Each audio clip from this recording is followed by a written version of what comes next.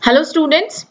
In previous lecture, I've discussed about uh, principle of superposition for uniform cross-section bar.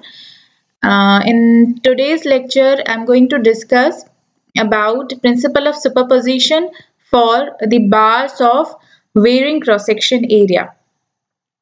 So when uh, any structural member which is having varying cross-section area along its length. If we are considering any kind of structural member or bar which is having varying cross-section area along its length and it is also subjected uh, to an axial force. So in that condition the total deformation will be equivalent to sum of the deformation of individual section under the action of axial force. So, uh, for example, we are considering a bar uh, which is uh, having three different cross section area. In this figure, you can see we are having uh, three section of this bar which is having different cross sectional area. The first section of this bar having cross section area 1 and the length of this section is L1. The second cross section area is A2 and the length of the bar is L2 and the third cross section area of uh, this bar um, is A3 and the length is A3 and we are considering an axial force P at both the ends of the bar. So with reference uh, uh, with uh, with reference to the bar, the total elongation is we are considering delta is the total elongation that will be equivalent to sum of the deformation of individual section under the action of that axial force P. So here we are considering uh, delta is equivalent to delta 1 plus delta 2 plus delta 3. Here delta 1 is the uh, elongation in section 1, delta 2 is the elongation in section 2 and delta 3 is the elongation in section 3. That will be equivalent to P by E in bracket L1 plus A1 plus L2 by A2 plus L3 by A3. This formula is applicable for the bar of varying section uh, which is uh, subjected by uh, axial force at the ends only. Similarly, if the bar of varying section uh, is subjected to various forces both at its end as well as at the intermediate points. In that condition, we can apply principle of superposition uh, to find out the total deformation of that particular bar.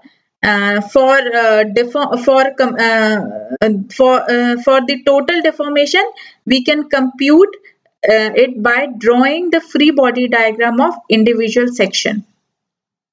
The total deformation for such kind of bar, if we are considering the delta is the total deformation for that particular bar, that will be equivalent to 1 by E in bracket P1 L1 by A1 plus P2 L2 by A2 plus P3 L3 by A3. This is for uh, bar which is having three sections only. If we are considering n section, in that condition, this formula will be delta equivalent to 1 by E in bracket P1 L1 by A1 plus P2 L2 by A2 plus up to Pn Ln by An that is equivalent to we can write it as 1 by E summation of PL by A. This here you can see a diagram of a bar of varying cross section area.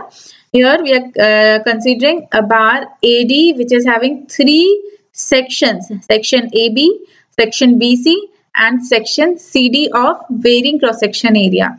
Section AB which is having length L1 and cross section area A1.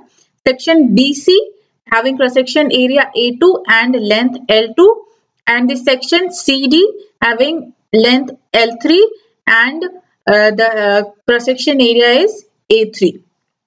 So for uh, computing the total deformation, we have to draw free body diagram of individual sections of the bar. Here we are taking first section of that particular bar. The first section is AB, area A1 and length L1. You can see the axial forces at the uh, ends. So the net force at the left side of the bar is 10 kilonewton and net force at the right side of the bar uh, you can compute as 4 minus 6 plus 12 that is equivalent to 10 kilonewton. So we can say the net force at the section AB is 10 kilonewton. In that condition we can say the total deformation of section AB is 10 L1 by A1E. The total deformation for that particular section AB is 10 L1 by A1E. Similarly, the second section, section BC, which is having cross section area A2 and length L2. Here, the net force at the left side of the section is 10 minus 4 which is equivalent to 6 kilonewton and the net force at the right side of the section which is 12 minus 6 that is equivalent to 6 kilonewton. So in that condition we can say the net force at the section BC is 6 kilonewton and the total deformation of section BC is 6 L2 by A2E. Similarly, in third section, section CD, which is having area A3 and L3 uh, and the length L3. So, the net force at the left side of the bar is 10 minus 4 plus 6 that is equivalent to uh, 12 kilonewton. And uh, the net force at the right side of the section is or it is 12 kilonewton. So in that condition we can say the net force at the um, mm, section cd is 12 kilonewton and then uh, the total deformation of uh, the section cd is 12 l3 by a3E. So, with reference to the free body diagram of the bar or uh, if we prefer the if we refer this uh, figure, so we can say the total deformation of the bar AD will be if we are uh, denoting it as delta that will be equivalent to summation of deformation of all three section that is equivalent to 1 by E in bracket 10 L1 by A1 plus 6 L2 by A2 plus 12 L3 by